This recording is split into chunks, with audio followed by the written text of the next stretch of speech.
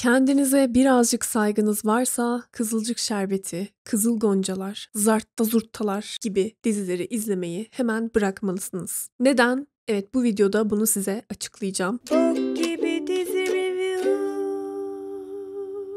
Biraz iddialı bir giriş yaptım farkındayım ama bir süredir Kızılcık Şerbeti'ni izlemeye başladım ben ve incelemeye başladım. Normalde ben kitap inceliyorum. Türk dizileriyle, televizyon dizileriyle pek aram yok. En son izlediğim diziler Türkiye'deki siyasi değişimin çok öncesinde çekilmiş diziler. İşte Avrupa yakasıdır, hayat bilgisidir bu tarz şeyler. O yüzden ana akım dizi sektörünün geldiği halden haberim yoktu açıkçası. Sabırla izledim, izledim, izlemeye devam ettim ama 8. bölüm benim için bardağı taşıran son damla oldu. 8. bölümden itibaren ben bıraktım. Ortaya konulan bir seküler imajı ve bir muhafazakar imajı olduğunun ama bunların tutarlı olmadığının, çok mantıksız olduğunun ve çoğu zaman da muhafazakar insanların daha iyi gösterildiğinin altını çizmeye çalışıyordum ama bak çok feminist tarafları da var falan dediniz. Ve ben şunu anladım. Ya sizin feminizm dediğiniz şey herhalde Kıvılcım'ın bağırıp çağırması ve histeri, böyle sinir krizleri falan geçirmesi. Eğer bir yapımda kadına şiddet uygulanıyorsa ve bu şiddet uygulayan adamın yanına kar kalıyorsa hatta güzelleniyorsa duygusal müziklerle benim için o yapımı izlemenin bir anlamı yoktur. Muhafazakar övme, seküler yerme, ilişki içi şiddet, flört şiddeti, evlilik içi şiddet, güzelleme, evlilik içi şiddet olurken arkaya kemanlı müzikler çalma. Cidden kimseyi yargılamak istemiyorum. Olabilir, sevebilirsiniz. Ama ben zamanımı iki buçuk saatimi, yani cuma akşamları iki buçuk saatimi buna vermek yerine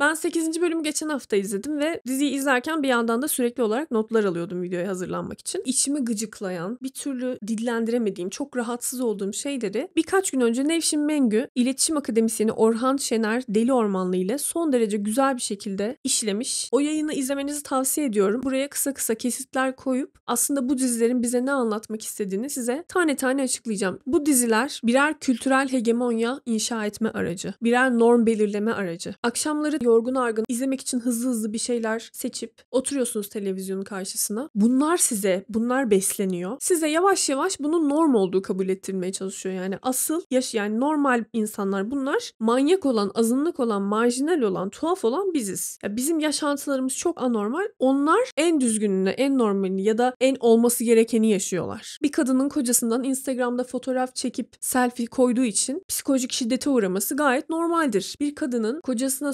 söylemeden dondurduğu okulunu tekrar açtırması ve okula gitmesi dövülmek için yeterli bir sebeptir. Mesela bunlar ilmek ilmek işleniyor ve artık normal gelmeye başlıyor. Bir arkadaşınız size sevgilim bana böyle böyle yaptı dediğinde sevgilinin sana o konuda had bildirmesi çok normal. Çünkü ben televizyonlarda da bunu görüyorum yani gayet. Yani sen gel belki kendine konduramıyorsun ama televizyonlarda gördüğün şeyi sen normal kabul etmeye başlıyorsun. Aylarca yıllarca izlersen bunu artık normal gelmeye başlıyor. Sen böyle düşünmesen bile bu şekilde yaşayan, televizyon dizilerinden, TV'de gördüğü şeylerden bu kadar etkilenen, hayatını bu şekilde idame ettiren o kadar çok insan var ki. Ya bu ülkedeki birçok insan Murat Kurum ve Ekrem İmamoğlu'nun isimlerini bile doğru dürüst telaffuz edemiyor. Ve televizyon dizileri 7'den 70'e herkese hitap edilecek şekilde yapılıyor. Vaktinizi geçirmek için izleyebileceğiniz o kadar farklı mecralar var ki artık televizyona yani muhtaç değiliz hiçbirimiz. Televizyon izlemek zorunda değilsiniz. Evet çok belki şey zahmetsiz bir şey tamam mı? Gencinden yaşlısına herkesin evinde televizyon var. Herkesi bir ortak noktada buluşturabilen bir şey. Çok kolay ve zahmetsiz bir şekilde sosyalleşebileceğiniz, eğlenebileceğiniz bir aktivite ama Kızılcık Şerbeti ve Kızıl Goncalar gibi Samanyolu TV'nin Sırlar Dünyası dizilerinden bozma dizileri izlemeden de eğlenebilirsiniz. Sizin yaşam tarzınıza size bu kadar bariz bir şekilde saygısızlık yapan ve sizi bu kadar görmezden gelen yapımlara karşı bir duruşunuz olması gerektiğini düşünüyorum. İlk iki videomu aşağı koyacağım. İzleyebilirsiniz onları da ama illa bu videoyu izleyebilmek için ilk iki videoyu izlemenize gerek yok çünkü genel şeylerden de bahsedeceğim. Hidayet romanlarını bilirsiniz değil mi? Zaten beni daha önceden tanıyanlar, kanalımdaki kitap incelemelerinin bazılarını izlemiş olanlar Hidayet romanlarını da iyi biliyorlardır. 90'larda, 2000'lerde çok yazılıyordu bu romanlar. Özellikle Huzur Sokağı gibi olanları çok ünlüydü. Aslında Kızılcık Şerbeti gibi diziler de bu hidayet romanları gibi. Bunların modernize edilmiş ve bize yedirilmeye çalışan versiyonları. Orhan Şener Deli Ormanlı'nın bu konudaki bir tweetini okumak istiyorum. Kızılcık Şerbeti ve Kızıl Goncalar özellikle 90'larda İslamcı cenahta popüler olmuş hidayet romanları türünün bir parçası. Hidayet romanlarında seküler kızımız hedonist bir hayat yaşar. Başta hor gördüğü Müslüman oğlana sonra aşık olur. Hayatı ve ötesini ondan öğrenir. Bu arada hepsinin Kıvılcım, Alev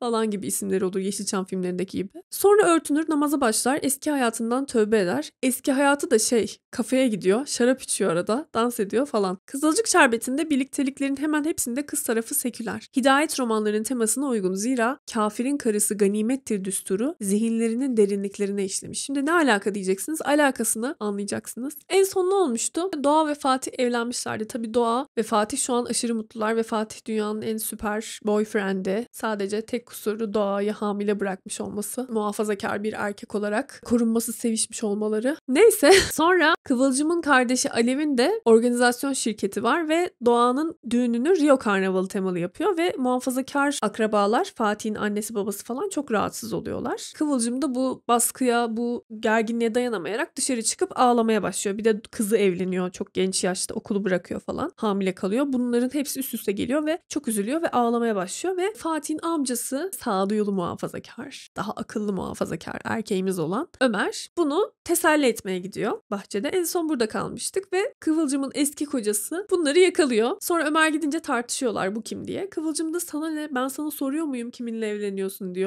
Postasını koymuş oluyor. Biliyorsunuz ki seküler ailelerde boşanıldıktan sonra koca ya zaten boşanmadan önce de koca yumruğunu masaya vuramaz ama boşandıktan sonra karının üzerinde hak iddia etmeye devam edersin normalde bir eğer Türkiye'de yaşayan bir erkeksen karını öldürmen bile ihtimal dahilindedir boşanma aşamasında veya boşandıktan sonra. E, asla rahat bırakmazsın yani karını ama eğer rahat bırakıyorsan da flört etmesine veya evlenmesine sevgilisi olmasına izin vermezsin. Rezillik çıkarırsın falan. Böyle bir teşebbüste bulunuyor ama laik ve seküler bir adam olduğu için tabii ki çok ezik. Kıvılcıma hiçbir şey söyleyemiyor. Neyse sonra Alev var ya teyzemiz. Aşırı dokungaç ve samimi tavırlarla Abdullah, Abdullah Beyciğim dansçıları ben çağırdım böyle olacağını bilmiyordum kişisel algılamayın kızacaksanız bana kızın diğerlerinin bir suçu yok falan diyor. Kıvılcım da gidip kusura bakmayın diyor. Sonra eski kocanın nişanlısı geliyor kızlarla ilk tanıştığında açıktı kapanmış olarak geliyor. Çünkü bunlar o kadar omurgasız ve rezil insanlar ki muhafazakar zenginlerden iş istemek için başörtüsü takıyormuş gibi yapıyorlar. Bu arada balayı yapmamaları Türkiye'de böyle bir sorun var arkadaşlar. Bunu gelin evinde de çok işlemiştik. Bence Türkiye'de çok yaygın bir şey bu. Çiftlerin balayı yapmamaları, tatile bile çıkmamaları. Yani düğün organizasyonu inanılmaz şatafatlı oluyor. Ama gelin ve damat düğünden sonra 3 günlük bir cicim ayı yaşamak için bir yere kaçıp küçük bir tatil yapamıyorlar. Zaten normalde de tatil yapmıyorlar ama balayı belki bazı insanların hayatındaki ilk ve tek tatili. Türkiye'deki bazı evlenen insanların. Ama onu bile yapmaya gitmiyorlar ve Fatih'le Doğa bakın. O kadar zengin insanlar. İkisi de çok zengin. İkiler, ikisinin de durumu çok iyi. Ve balayına gitmiyorlar ve bu konu öylece geçiştiriliyor. Balayı ne ya? Ne yapacağım balayına? Aman. Gel burada ailenle, ma aile 15 kişi bir evde yaşayın yani. Biriniz sevişirken öbürü öteki odadan duysun yani. Çok süper bir aile yapısı. Bu Nur Sema'da abi 40 yaşına gelmiş. Evde oturmaktan ekşiyor. Ben niye bu kadar zengin bir ailenin kızı evde sadece oturur yemek yapar onu anlamadım. O kadar gerçeklik dışı ki baban zengin. Al cebi altına yalandan bir seramik dükkanı aç. Gez, toz, ne bileyim Çengelköy'deki tatlıcılara gidip fotoğraf çekil. Nev mekanına git çay içip kitap okuyormuş gibi yaparken fotoğraf falan çekil. Bu değil midir yani? Stereotipik yani en azından etrafta çok gördüğümüz zengin muhafazakar bekar kadınlardan birinin random birinin yaşamı. Ama yok abim Nur Sema evde somurtuk bir şekilde oturuyor 7-24. Evde oturup durmaktan tabii işleri güçleri yok. Doğayı darlamaya başlıyorlar. Çeyiz, misafir, hayırlı olsun ziyareti, çeyiz serip gösterme. Kıvılcım da işinden izin alıp bir gün gelsin diyorlar. Çünkü dünyanın en önemli olayı misafirlere çeyiz serip gösterme. Hayatında ya Kı- Kıvılcım'ın hayatında en son umursayacağı şey. Okuldaki yüzlerce öğrenciden de daha önemli ayrıca. Neyse Nuray'la da hafiften Doğa tartışmaya başlıyor. Doğanın gücü bir tek Nuray'a yettiği için onunla uğraşıyor. Yani bir tek onun ağzına sıçabiliyor çünkü onu kendinden aşağı görüyor. Yani kaynananla ve Nursema'yla da böyle yani onlara da böyle kafa tut sıkıyorsa ama yemiyor tabii. Kendinden daha aptal gördüğü için bir tek ona böyle horozlanabiliyor. Sonra teyzesi Alev de Abdullah'ın ofisine gidip yemeğe çıkarıyor onu özür dilemek için. Ne alakaysa. Yani annesine kendine Pembe Hanım'a da ayıp ettin. Yani ebeve ikisine de Fatih'in iki ebeveynine de ayıp etmiş oldun. Niye bir tek Abdullah Bey'i yemeğe çıkarıyorsun? Niye çift olarak özür dilemiyorsun? Zaten sanırım ileriki bölümlerde Alev gerçekten Apo ile bir ilişki yaşamaya başlıyor. Aldatıyorlar falan. Apo aldatıyor Pembe Hanım'ı. Dünyanın var ya en olmayacak senaryosu bu arada. Hazır bu konuyu açmışken de Nevşin Mengü'nün bu dizideki seküler ve laik profil tanımıyla muhafazakar profil tanımını size anlatmak istiyorum hemen. Laik erkekler hep bitik, beyinsiz, sersem, işsiz, güçsüz olarak tanımlanıyor. Laik kadınlarda hep salak, histerik, hedonist ve fikirsiz olarak. Mesela Alev o kadar hiçbir şeyi umursamıyor ki. O kadar aptal ki Apo gibi bir adamla ilişkiye başlayacak mesela. Yani normalde sizce böyle bir şey mümkün mü? Veya Kıvılcım'ın Ömer gibi bir adama düşmesi normalde mümkün mü? Ama sürekli olarak aşklarından ölüyorlar bu muhafazakar adamlara. Yemekte Abdullah Bey bayağı anlayışlı ve yapıcı davranıyor. Bu da tutarsızca bence. Yani bu kadar aşırı muhafazakar ve katı bir adam böyle bir kadınla keyifli keyifli konuşup şakalaşmaz arkadaşlar. Yani böyle muhafazakar adamları işte zengin hem aşırı evine ailesine sahip çıkan bireyler olarak göstermişler. Hem de yeri geldiğinde flörtöz, yeri geldiğinde ağırbaşlı, yeri geldiğinde felsefi, yeri geldiğinde kıssadan hisseler anlatarak ortamı yumuşatan, yeri geldiğinde herkesin arasını yapan, yeri geldiğinde yumruğunu masaya koyarak herkesi susturan, akılcı, her şeyi bir arada tutan, yaşlı adam figürü. Tıpkı ülkemizdeki yaşlı adamların her boku yönetmesi ve sürekli onların sözünden çıkmamamız gerekmesi gibi. O kadar sıkıldım ki bu yaşlı muhafazakar adamın her söylediğini dinlemek zorundayız. Sürekli hayatımızda yaşlı muhafazakar adamlar var ve bize sürekli ne yapmamız gerektiğini söylüyorlar. Onlar nasıl isterse biz öyle yaşayacağız. Siyasette de öyle bu, iş yerinde dışarıda da böyle, okulda da böyle, başka ortamlarda da böyle ve televizyonu açtığında izlediğin diziye kadar böyle muhafazakar yaşlı erkek kuşatması altındayız ve ben artık patlayacağım. Muhafazakar yaşlı erkek istemiyorum hayatımda. Bıktım. Eğer dedesini babasını çok seven varsa her söylediğine ayet kabul eden adeta tapmak isteyen varsa buyursun ne yiyorsa yesin. Ama başka herhangi bir insanın hayatını kontrol etmeye çalışmaktan vazgeçin artık. Yeter yaşlı muhafazakar amcalar evlerinde oturup seslerini kesmeyi öğrensinler artık. Elhamdülillah hepimiz Müslümanız ama değil mi diyor adam. Yorum yok diyor Alev. Ya şu sahnedeki uğradığım hayal kırıklığı tabii o zamanlar dizi, diziyle ilgili hala ümitlerim var. Elhamdülillah hepimiz Müslümanız diyor adam ve "Hmm, aynen ben değilim ama hani olsun demek yerine Alev ya bir televizyon dizisinde ana akım bir televizyon dizisinde bir kadın Müslüman olmadığını, ateist olduğunu veya başka bir dine inandığını bile açık açık söyleyemiyor. Yorum yok. Yorum yok. Sadece tek bir prototip in- insan var. Onlar. Her şeyi onlar yapıyor. Hayatı onlar yaşıyor. Biz böyle kenarda figüranız. E, Figüran bile değiliz yani. Dizide bizden, benim senin gibi insanlardan eser yok. Nerede kim bu %50'ler? Anadolu'da ortalama bir emekli öğretmen, Atatürkçü, işte e, eskiden imkanı varken bir kadeh rakı falan içen artık onu da içemeyen. Seküler dediğimizde yani orucunu tutar şu falan ama öyle hani dinle imanla çok çok işi yok. İşte kızın okutması. Bu insan nerede? Hangi dizide bu adam? Yok. Seküler şu. Ev ayakkabıyla giriyor hepsi zaten. Sürekli içki, kaka kaka kuku hiçbir şeyden haberleri yok.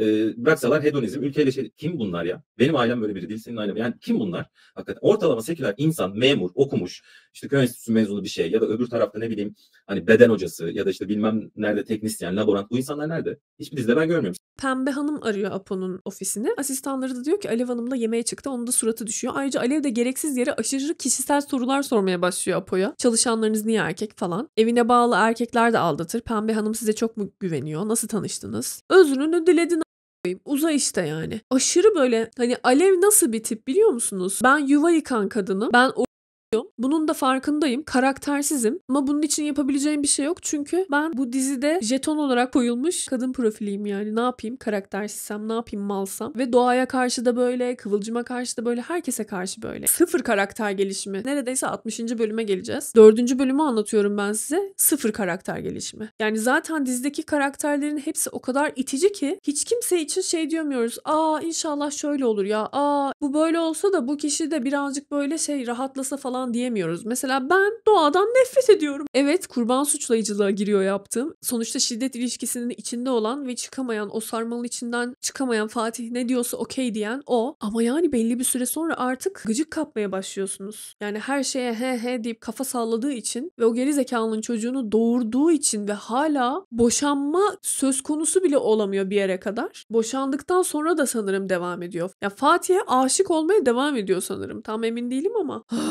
Sonra Umut Nursema'yı arayıp kahve daveti yapıyor. Bu sırada Nursema evde hat çalışıyor. Bu arada Umut'un da ya ben şeyi anlamıyorum. Umut gibi bir adam hiç alakası olmayan yaşam tarzı. O kadar çekici geliyor ki ona. Hani böyle bazı erkekler bütün şehirli kadınlarla sevişeyim ama annem köyden bana namuslu bir kadın bulsun. Onunla evleneyim falan. Yani Umut'un bu Nursema takıntısı bana bu bunu hatırlatıyor ve o kadar iğreniyorum ki. Bu arada Kıvılcım da diyor ki bunlar her geleneğini yerine getirmek zorunda mı? Çeyiz serme falan. Ayrıca çeyiz niye alıyorlar zaten? Bir evde bin kişi yaşıyorlar. O tencere, tava, küçük ev aletleri falan kullanılmayacak. O kadar mantıksız ki her şey. Alev bombayı bırakıyor arkadaşlar akşam. Çok tatlı adam. Bence yanındakini bıraksın beni alsın. Gördünüz mü karaktersizliği? Birincisi böyle bir kadının böyle bir adamdan hoşlanması mümkün değil. Hesap ödetmedi çok hoşuma gitti diyor. Gold digger iması yapıyorlar herhalde. İkincisi Türk dizilerinde neden 86 yaşındaki adamların yanına 19 yaşında kızlar uyduruluyor? Ben artık bundan çok rahatsız oluyorum. Yılmaz Erdoğan'ın dizisinden de çok rahatsız oluyorum. Diyorum ya yaşlı erkeklerden bıktım. Bıktım ya. Yeter. Bu arada çimenle ilgili bazı sorunlar oluyor. Doğan'ın "Ya o gece ben onlarda kalacağım. Kıvılcım'a kızıyor onlarda kalacağım diyor. Ve abi Kıvılcım'la Ömer sürekli coffee date çıkıyorlar. Çocuklarını konuşmak için güya. Ya bunları yakınlaştıran tek şey çocukları. Yani Kıvılcım'ın o tarz bir adama yakınlaşması, flörtleşmesi sonra da zaten anladığım kadarıyla sevgili falan oluyorlar. Tek konuştukları şey Çimen ne yaptı? İşte Metehan öyle yaptı böyle yaptı. bu Kıvılcım diyor ki Ertuğrul ay senle ne kadar iyi. Her konuda Nasıl anlaşıyorsunuz abi? Nasıl anlaşıyorsun abi? Hangi konuda konuşuyorsun? Adam o dönemde içki bile içmiyordu mesela. Bu kadın hayatta içki içmek, müzik bilmem ne yapmak falan. Neyle anlaşıyorsunuz? Benim anladığım Neyle mesela namaz kılan bir insan. Yani bir çiftten birisi sürekli beş dakika Ay namaz senin içki kız öyle mi? Hani Çocuk konuşuyor. Senin kız öyle mi? Benim oğlan böyle mi? Tamam olabilir abi. Bunu yarım saat konuştum ve sonra atıyorum. Yani Selahattin Demirtaş'ın 8 senedir içeride olması. Okullara konan 78 saat zorla çeşitli görünümlerdeki din dersi ki Kıvılcım öğretmendi yani. Ne diyorsun sen? Olmadı. Hazreti Muhammed'in hayatı bitti. İşte Kur'an'da da bilmem neler dersi. Bitti. Seçmeni iyicene nasıl namaz kılarız dersi var. Şimdi mesela sürekli müfredatta bunlar konuyor ve nasıl olacak Kıvılcım? Bunlara lafını bile etmiyor yani çıktığı İslamcı erkeklerle. 28 Şubat'ta ve 15 Temmuz'da bazı radikal İslamcı adamlar şöyle şeyler söylemişlerdi. Sizin karılarınız bize helal. İşte fethetme, savaş. Hep böyle bir tema var. O yüzden bu seküler kadınların muhafazakar erkeklere bu kadar kolay düştüğünü söylüyor. Yani böyle bir açıklama yapıyor. Bana çok mantıklı geldi bu. Nursema da evdeki çeyiz telaşından kaçıp bir bahaneyle gizlice Umut'la bu- buluşmaya gidiyor. Parlatıcı sürüp silme sahnesi. Ah, Aman Allah'ım çok utangaç bir kadınım ben. Sonra Alev Almanya'ya gidiyor arkadaşının baby shower'ını organize etmek için. Bu sırada tam da tesadüfe bakın ki Apo'nun Almanya'daki otellerinden birinde yangın çıkıyor. Zenginliğe bakın bu arada. Otellerinden bir Almanya'daki otellerinden birinde yangın çıkıyor. O da apar topar Almanya'ya gidiyor. Sonra Pembe Hanım bu olayı yanlış anlıyor. Diyor ki bunlar Almanya'da kesin buluştular ve beni aldatıyorlar. Pembe Hanım Kıvılcımlara gidiyor akşam akşam. Diyor ki annesiyle Kıvılcım'a Alev'in kocamla ilişkisi var. Yani bu sahne de çok saçma. Bir kere muhafazakar bir kadın özellikle gidip de barbar böyle bir şeyden şüpheleniyorsa bile insanlara asla o şekilde yani mutlu aile tablosu geberse bile o tabloyu korumak zorunda olduğu için ve insanlara her şey muhteşemmiş, güllük gülistanlıkmış gibi gösterme gibi bir şey olduğu için asla böyle yapmazlar. Bence burası çok saçma olmuş yani. Tabii direkt Alev'i suçluyor. Baştan çıkardı dansçılar açık saçık giyinmeler diye falan. Ne alakası var? Rio'da karnavalı dansçısı azdırdı Apo'yu da "Hmm, ben en iyisi Alev'le sevgili olayım falan mı dedi. Ne alaka yani? O kadar aptalca zoraki yazılmış bir senaryo ki. Geldik 5. bölüme. Alev çıkıyor tabii diğer odadan. Pembe Hanım göt oluyor. Hani Almanya'da değilmiş. iptal olmuş Almanya'daki baby shower falan. Benim tavırlarım, hayat görüşüm farklı diye metres olmayı mı bana yakıştırdınız diyor Alev. Pembe Hanım da özür dileyip gidiyor. Alev'in annesi de senin hatan. Bu Alev'in annesi var ya Sönmez Hanım. Kıvılcımla Alev'in annesi. Doğan'ın anneannesi. Ya bu kadın da sen beton seküler kemalist solcu bir yani öyle bir aile imajı çizilmiyor mu? Ya bu nasıl anneanne? Ben anlamıyorum. Böyle anneanneler genelde çocuklarına kendileri çok çekmiş olurlar tamam mı dedelerden, kocalardan. Genelde çocuklara verilen nasihatler şu ayardadır. Sen oku aman kimseye muhtaç olma. Ay bunlar da kim oluyor? Tabii ki onların da muhafazakarlıkları vardır. İşte kızım dövme yaptırmasan, işte kızım bak üstüruplu giyinsen falan filan gibi geleneksel muhafazakarlıkları olur ama Sönmez Hanım o kadar yobaz ki yani. Nasıl böyle Kıvılcımlı Alev'in annesi bu, şekilde yobaz bir kadın olabiliyor? Bence burada bile bir mesaj var. Yaşlılarımızın ne dediği onlar Onlar her zaman en iyisini bilir. Bak o ne kadar güzel söylüyor Sönmez Hanım. Bak şu kızları bunun çok şey ama bak Sönmez Hanım çok akıllı. Bak annelerini bunlar hiç dinlemiyorlar. Bu kızlar o yüzden böyle. Anaları bak ne kadar doğru konuşuyor aslında. Onları sağduyuya davet ediyor her zaman. Manyak onlar. Ama Sönmez Hanım sekülerlerle muhafazakarlar arasında bir köprü. Zaten sürekli Kıvılcım'ı evlen artık çok surat asıyorsun filan diye darlıyor. Her bölümde arkadaşlar her bölümde bu da ilmek ilmek işiniyor. Kıvılcım evli olmadığı için sevgilisiz olduğu için mutsuz bir kadın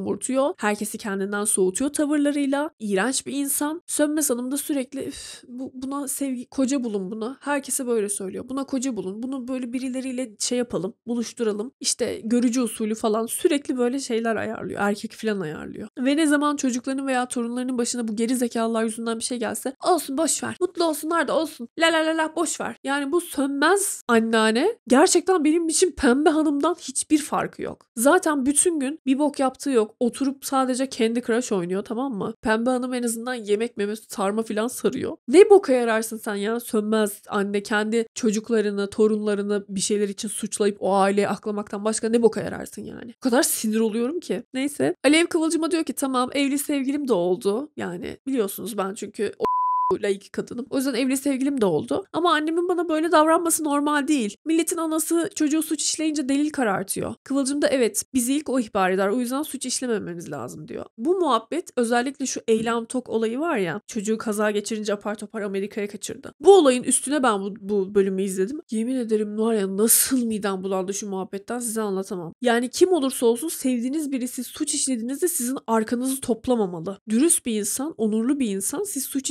işlediğinizde ne kadar yakınınız olursa olsun sizi ihbar eden insandır yani. Hani biri öldürüyor da sen bu olayı saklamaya çalışıyorsan senin de katilden hiçbir farkın yok. Fatih arkadaşlarıyla yemekteyken Doğa arıyor. "Ee, pardon karım arıyor. Nasılsın sevgilim falan dediği için arkadaşları light erkek diye dalga geçiyorlar. Bu arada Fatih gibi bir öküzün telefonu böyle açacağına da inanmıyorum. Anasının babasının yanında sevgilim, karıcım falan diyeceğine de inanmıyorum. Çünkü biraz sonra göstereceği özellikler bu durumla hiç bağdaşmıyor. Neyse Doğa kız arkadaşlarıyla akşam yemeğe çıkmak istiyor. Fatih de hemen evli olduğunu unuttun galiba. Hiç hoş değil diyor. Yani Fatih'in psikolojik şiddeti başlıyor arkadaşlar. Ya önceden ya işte biz çok iyi anlaşırız. Hiç hayatın değişmeyecek ee, falan yapıyordu. Şimdi akşam yemeğine çıkıyorsunuz. Evli olduğunu unuttun galiba falan diye bildiğin kızı kısıtlıyor. Yani kızın beraber arkadaşlarıyla buluşmasına bile izin vermiyor. Bahane olarak da bekarlığa veda gecesini göstererek manipüle etmeye çalışıyor. Ben çıkarım çünkü erkeğim. Evliliğin bazı kuralları var. Kafe kö- köşelerinde gezmeni istemiyorum diyor. Ve Türkiye'de birçok erkeğin bu şekilde flört şiddeti gösterdiğini zaten biliyoruz. Bunlarınki evlilik içi şiddet oluyor da ben biliyorum yani birçok genç kadın sevgilisinden bu şekilde azar işitiyor arkadaşlarıyla akşam bir yere giderken. Onlar istedikleri yere gidiyorlardır ama kadınları muhtemelen bu şekilde darlıyorlar tamam mı? Böyle bir gerçeklik var zaten ama ben bunu televizyonda işte tırnak içinde özgür bir kadın, özgür bir kadının kızı. Ya televizyonların en çok izlenen dizisi. Ya bu, bu konular televizyonlarda ana akım medyada bu şekilde tartışmaya açıldığı için ben o kadar utanıyorum ki size anlatamam yani. Bu dizide bunun yanlış olduğu bize o şekilde alt bir mesaj verilmiyor. Aksine Fatih evet kontrol edebilir karısını. Yani karısı da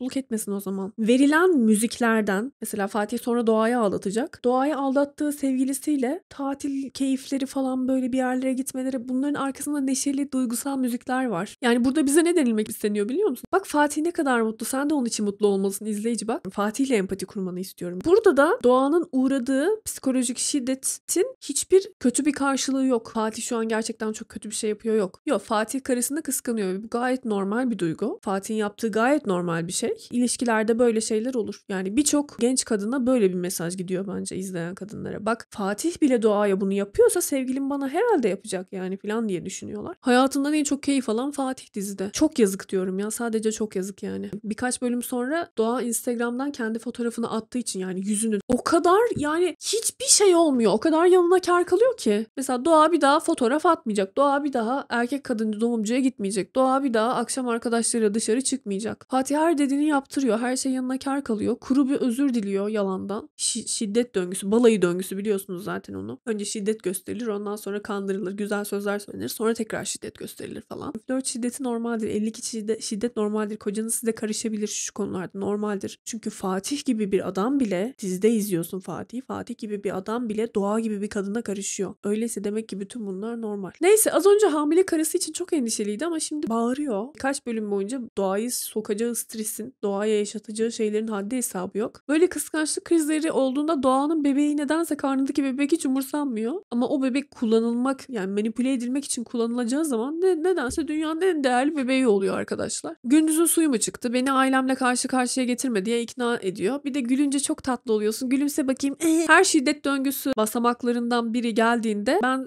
şuraya şiddet döngüsü diye uyarı koyacağım. Ömer'le Kıvılcım yine Metehan'la Çimen'i bahane ederek bowling date ayarlıyorlar. Allah'ım yarabbim. Çocukları konuşuyoruz ayağına flört ediyorlar. Yine Kıvılcım'ın eski kocasının Fatih'in ailesine yamanma çabaları. Nilay'ın abisini Nursema'ya ittirme çabaları. Dünyanın en gereksiz ve yorucu plotları. Sonra Abdullah Bey Pembe'den bu Alev rezilliğini duyuyor ve çok utanıyor, kızıyor. Alev'in organizasyon şirketine iş vermek istiyor ne alakaysa. Alev de kabul etmiyor bunu. Sonra Doğa eve bir köpek getiriyor. Nursema da necis diye azarlıyor onu. Köpeği eve sokamazsın. Salyaları olunca namaz kılamıyoruz. O da odamda bakarım o zaman diyor. Ki dünyanın en kötü fikri arkadaşlar. Lütfen kedi köpek odada bakılmaz yani. Salak salak fikirler. O sette bir tane mi hayvan sever yoktu yani. Bu, bunu bu şekilde yazmayın senaryoya. Odamda bekerim. Nah bakarsın odanda. Köpek odada bakılır mı ya? Bahçede sonra ısıtıcıyla kalmasına ikna oluyorlar. Ki buna katılmıyorum. Ben bilmiyorum hayatımda hiç köpeğim olmadı. Ama ben bahçede ısıtıcıyla bakılan bir köpekle kurman gereken sosyal bağı kurabileceğini düşünmüyorum. Yani kapına bağlıyorsun çünkü onu. O senin bekçin olur, kapıcın olur yani. Hayvanların bu şekilde kullanılması be- beni çok rahatsız ediyor. Yani tamam eskiden köylerde yapılırmış ama şehirli insanlarız. Kapıma kulübe koyayım da işte ısıtıcı takayım. Bu konuya biraz internetten baktım köpek sahipleri ne diyor diye. Tabii ki de eğer köpeğinizi sürekli dışarıda bırakmak zorunda kalacaksınız. Köpek sahiplenmeyin diyorlar. Çok da ilginç bir açıklama yapmışlar. Köpekler sürü halinde yaşarlar. Pack animals sürü hayvanlarıdır ve eğer siz onu ailenize tanıştırırsanız artık onun sürüsü siz olursunuz. Sizin yaşam tarzınıza uyabilecek bir yani sürünüze uyabilecek bir köpek cinsi seçmeniz gerekiyor. Ama köpeğinizi sürekli dışarıda bağlayacaksanız ve onu ailenize tamamıyla kabul edemeyecekseniz başka bir hayvan bakın diyorlar kısacası. Çünkü sonuçta insanlar ve köpekler neden beraber olur? Birbirlerine arkadaş olurlar değil mi? Ama bir köpeği sürekli kendinizden uzakta ve bir kapının önünde bağlı olarak tutarsanız bu hem davranış bozukluklarına sebep olur hem fiziksel ve duygusal ihtiyaçlarını tam karşılayamamanıza sebep olur. Hem de ne köpek ne de siz bu karşılıklı arkadaşlıktan hiçbir şey anlamazsınız. Tabii ki sadece hırsız geldiğinde havlasın falan gibi size bir kârı olacak tek taraflı bir ilişki düşünüyorsanız o başka. Ama sonuç olarak bir köpeği evinin içinde değil de kapının önüne bağlayarak bakmak hayvan ihmali sayılıyor. Sonra Doğan'ın doktoru erkek diye ikinci bir şok yaşıyor. Aman Allah'ım. Aman Allah'ım nasıl? Doğan'ın jinekoloğu erkek nasıl olabilir? Bu arada dünyanın en muhafazakar insanları bile kadın, erkek jinekoloğa gidenler gördüm ben. Yani çünkü tıpta erkeği kadını yok. Bunu zaten İslam'da da erkek doktora kadın gidebilir, kadın doktora erkek gidebilir mecbur kalındığında. Böyle şeyler oluyor yani. Ama nedense aile krize giriyor böyle. Yana yakıla doğaya kadın doktor. Bu sefer kıvılcım kuduruyor. Diyor ki ne alaka? Niye sizin kadın doktorunuza gidiyoruz? Kadın her şeyi ayinle başlıyor. Ona da götürmek istemiyor. Bu sefer doğada kimseyi kırmamak için üçüncü bir kadın doktor buluyor. Saçı açık bir kadın doktor buluyor. Yani böyle ıh tamam doğa genç onu suçlamamalıyız okey ama yani gerçekten kadar salak bir kız olamaz. Doğayla empati kurmamız gerekiyor karakter olarak. Eksen karakter doğayla. Yemin ederim bir gram empati kuramadığım gibi her bölümde daha da fazla nefret ediyorum kızdan ya. Yani anası sussun ve geri zekalı kocasıyla şiddet döngüsünün içinde de rahatça yaşayabilsin diye kız elinden geleni yapıyor sanki. Neyse ben az önce size bir köpek anlattım ya. Köpek üzerinden çok kavga ettiler falan. Ben de seviniyorum. Ya köpek kulübeye bağlı olsa da dizide kalıcı karakter olacak. Ne kadar güzel. İşte sette ne kadar mutlu eder insanları. Umarım güzel bakıyorlardır. Umarım ihmal etmiyorlardır. Böyle düşünceler geçiyor aklımdan. Ta ki köpek aynı bölümde araba çarpıp ölene kadar. Yani köpek getiriyorsunuz bir bölümlüğüne. Onu da öldürüyorsunuz. Ya bu kadar gerçekten var ya o kadar Türkiye bir dizi ki. Gerçekten çok Türkiye bir dizi. Bu, bu yüzden de çok rahatsız oluyorum. Köpeği getirdin senaryonun konusu ettin 5 dakikalığına. Sonra öldürüyorsun. Ne kadar sinir bozucu ya. Bu bile bence alelade geçiştirilecek bir konu değil. Tamamen toplumun hayvanlara bakış açısının bir tezahürü olduğunu düşünüyorum. Ya da bakılması istenen bakış açısının. Ya belki diyeceksiniz ki Meryem sen de var ya aşırı analiz ediyorsun. Ama köpeklerin filmlerde dizilerde ölmesinden o kadar rahatsız olunuyor ki bunun için mesela bir site var. doesthedogdie.com Ciddi ciddi insanlar oturmuşlar. Köpek ölüyor mu? Dizilerde, filmlerde, video oyunlarında, bloglarda bir birbirlerine haber veriyorlar. Bakın haberiniz olsun şu şu filmin şu şu sahnesinde köpek ölüyor. Ha tamam o zaman izlemeyelim. Gerçekten bu kadar hayvan katliamına senaryo icabı bile olsa karşı olan insanlar var. Bir de sonrasında sadece bir bölüm köpeğe üzülüyorlar Doğa ve Fatih. Yani o kadar değersiz ki tamam belki köpeği ölürken göstermiyorlar. Sadece söylüyorlar bu bile bir şeydir ama yani durduk yere Mesela bir John Wick var. Köpeğini öldürdükleri için bütün film boyunca onun intikamını alıyor. Bir de işte Kızılcık Şerbeti var. Köpek necis diye kapıya bağlanıyor. Sonra aynı gün araba çarpıyor ve ölüyor. Zaten televizyonlarda hayvan temsiliyeti çok yok yani. Üstüne bir de insanın ekstra siniri bozuluyor. Zaten köpekler şu anda resmen köpeklere savaş açılmış durumda sokak köpeklerine. Şimdi hemen yorumlara ya tamam da saldırıyorlar, işte ısırıyorlar, korkuyoruz, sokaklarda sen de sokaklarda yaşamıyorsun, mahallede yaşamıyorsun falan diye histeri krizine girecekler. Ben sorunun ne olduğunu farkındayım. Sadece çözüm yollarımızın farklı olduğunu düşünüyorum. Önünüze gelen sokak köpeğini vurup öldürmek bunun normal olmadığını söylüyorum. Kısırlaştırma, sahiplendirme, hayvan ticaretinin yasaklanması, hayvan çiftleştirmenin yasaklanması, cins kedi köpek satışının yasaklanması, köpek terk etmeye, kedi terk etmeye inanılmaz cezalar getirilmesi, hayvanların işkence edilmesine, hayvan öldürülmesine inanılmaz cezalar getirilmesi. Bunun gibi birçok önlemler alınabilir diye düşünüyorum. Bu toplumda beraber yaşıyoruz hayvanlarla. Hayvanları öldürmeye hakkınız yok. Siz daha rahat yaşayacaksınız diye. Daha yapıcı, daha düzgün kalıcı Avrupa'yı örnek göstereceksiniz. Avrupa'da daha yapıcı, daha kalıcı çözümler var katliam yapmadan. Bu konuyu araştırırken internette Animal Protection Index diye bir web sitesi buldum. Burada hangi ülkede hayvanlara ne kadar iyi davranılıyor, yasalar ne kadar düzgün bu araştırılıyor. Bizim ülkemiz gördüğünüz gibi D puanını almış. Ama mesela İngiltere, İsveç, Danimarka, Hollanda, Avusturya, İsviçre gibi ülkeler B almışlar. A alan ülke maalesef yok ama buradan hangi ülke ne gibi yasalarla hayvanları korumaya çalışıyor bunu görebilirsiniz. Mesela kim ülkelerde hayvanların satışı yasak, reklamlarının yapılması yasak. Kim ülkelerde sadece lisanslı insanlar hayvanları çiftleştirip satabiliyor. Kim ülkelerde ne olursa olsun hayvanların öldürülmesi, ötenazi yapılması yasak. Kimi ülkelerde de kısırlaştırma çok teşvik ediliyor. Mesela Belçika bütün kedilerin kısırlaştırılmasını zorunlu kılmış. Hatta Brüksel ile ilgili bir web sitesi var. Brussels BE diye. Bu sanırım resmi web sitesi. Ve burada kedilerin ve köpeklerin kısırlaştırılması için ödül olarak, teşvik olarak işte 50 euro, 75 euro, 150 euro falan ödüller veriliyor. Kedi erkek ise 50 euro veriyorlar. Dişi kedi ise 75 euro. E, dişi köpeğe 150 euro gibi. Buradan numarasını arayıp veya mail atıp başvuruyorsunuz. Bunlar Türkiye'de yapılamaz mı? Biz buna bütçe harcamak istemiyoruz. Fakir bir ülkeyiz zaten diyor olabilirsiniz ama hayvanlara, kötü davrananlara müthiş cezalar kesilebilir. Ya bunlar hiç yapılamayacak şeyler değil. O kadar bahane ki her şey. Sadece uğraşmak istenmiyor ve belediyelerin zaten bütçelerinin %5'ini hayvanlara ayırma gibi bir zorunlulukları var ama maalesef kimse bu bütçeleri e, uygun şekilde harcamıyor. Bu konu uzar da uzar. Sonuç olarak ben e, aşağıya birkaç link koyacağım. Oradan bakabilirsiniz. Hayvanlara daha iyi nasıl davranabiliriz? Bu sorunları hayvanları öldürmeden de nasıl çözebiliriz? Bu konuları eğer merak ediyorsanız. Öyle işte. Onun üstünden tartışıyor Doğa ile Fatih. Köpeğimi öldürdünüz falan diyor Doğa. Fatih de ya ben mi öldürdüm de bilmem ne de falan. Hem suçlu hem güçlüsün. Hem kapıya bağlayalım diyorsun. Evet sen öldürdün abi yani. Sen de o ihmalin bir parçasısın yani. Bir de Doğa işte Kur'an'dan hadislerden falan örnek verilmediği için dizide. Ülkedeki sekülerlerin bir yani %90'ı köpeklerin neden evde bakılamayacağını bilir. Yani namaz kılmanıza gerek yok bunun için. Dizide bunun kenarından geçmek için ellerinden geleni yapıyorlar. Yok işin necis hayvan da olmaz da onun tükürdüğü yerde namaz kılınmaz da falan da böyle doğada Ya niye ya? Ya niye ben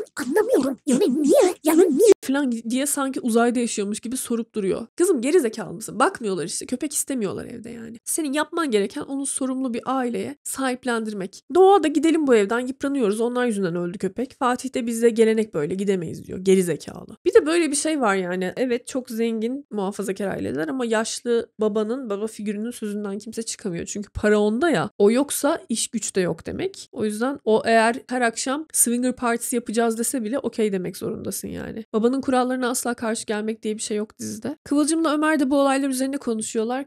Ömer de kimsenin niyeti kötü değil falan diye böyle ortamı yumurtuşuyatan muhafazakar erkek figürü. Nasıl kimsenin niyeti kötü değil ya? Yani nereden biliyoruz mesela Nilay'ın veya işte Nur Sema'nın köpeğin bağını çözüp yola fırlatmadığını? Ner Allah aşkına nereden biliyorsun kimsenin niyetini kötü? Orada da ölen bir köpek var yani. O kadar böyle sahne dekoru gibi davranmışlar ki köpeğe bu saçmalığın farkında bile değiller. Ne senaryoyu yazan ne oynayan kimse kimsenin sikinde bile ne izleyen şey gibi mesela bir tane kedi alıyorlar düşünün. Kıvılcım kedi alıyor. Camdan düşüyor kedi. Ah vah ediyorlar. Sonra herkes unutuyor. Doğa bebeğini düşürse daha embriyosu bile doğru düzgün oluşmamış bebeğin ardından neredeyse cenaze töreni düzenlenirdi. Ama köpek ölünce "Öf, köpek öldü ya. Niye öldü ya? Taşınalım buradan ya. Taşınamayız babamın çözünden çıkamam. Öf tamam Fatih ya. Böyle kapanıyor konu. Pembe ve Kıvılcım yürürken bir adamın karısını dövdüğünü görüyorlar. Kıvılcım hemen müdahale ediyor. Numarasını veriyor. Pembe de geçmiş olsun. İnşallah kocanızla aranızdaki soru hallet, sorunu halledersiniz diyor. Öf, Çok sıkıcı gerçekten. Bu arada ilk bölümde Kıvılcım'ın bunlar da her yerde diye laf soktuğu kadın vardı ya kıyafet dükkanındaki. Nereden Kıvılcım'ın bilgilerini bulduysa Kıvılcım'a cim, Kıvılcım'ı CİMER'e şikayet edip hakaret davası açmış. Bu arada bu da tam bir muhbir vatandaş örneği. Her sike hakaret davası falan açmak. Hakaret davası için avukat bulmam lazım diyor Kıvılcım. Ya o yaşta o kadar zengin kadının avukatı yok. Boşanırken avukat tutmamış herhalde. Neyse Ömer'in geri zekalı bir arkadaşı var. Onu avukat olarak tutuyor. Bakın şimdi. Avukat canlı görüşmeye gidiyor Kıvılcım ama bayağı yanlı ve agresif davranıyor avukat. Sizin başörtülere karşı tavrınızı biliyoruz zaten. Hakaret değil ama iltifat da etmemişsiniz. Sizin için önemli olmayabilir ama onlar için önemliymiş demek ki. Sürekli ya sen müvekkiline bu şekilde laf sokacaksan birlikte çalışmanızın ne anlamı var? Şöyle diyebilirsin. Ya işte Kıvılcım Hanım siz böyle böyle bir şey söylemişsiniz. Şimdi yapmamız gerekenler şunlar bunlar. Karşı taraf bize şunu söyleyebilir. Biz de o zaman şunu söyleriz filan. Se- sen avukatsın. Senin işin müvekkilini savunmak. Ona akıl vermek değil yani. İşte iltifat etmemişsiniz. Onlar için demek ki önemliymiş yani. Başörtülü zaten senin başörtülere karşı tavrın belli. Kıvılcım böyle bir avukatla çalışır mıydı sizce? Böyle laf sokuyor sürekli salak salak. O kadar saçma ki yani bir de bu dizilerde mesela bir meslek grubuyla ilgili bir senaryo yazacaksan onu asla şey yapmıyorlar, tenezzül etmiyorlar araştırmaya. Bir avukat nasıl çalışır mesela? Hakaret davaları nasıl olur? Bu süreç nasıl işler? Hiç var ya umur yani hiç kimseye sormamışlar bence. Ya bir stajyer avukata bile sorsanız bence çok güzel cevaplar alabilirdiniz bu konuda. Kimse sallamamış. Bir de Kıvılcım diyor ki ben başörtüsüne değil Arap kültürüne karşıyım. Saçmalıyor böyle salak salak. Sonra Fatih ile Doğa küsmüştü ya hani köpek yüzünden. Sonra sabah yalakalık yapıyor ve kendini affettiriyor. Küs müyüz? Güldün.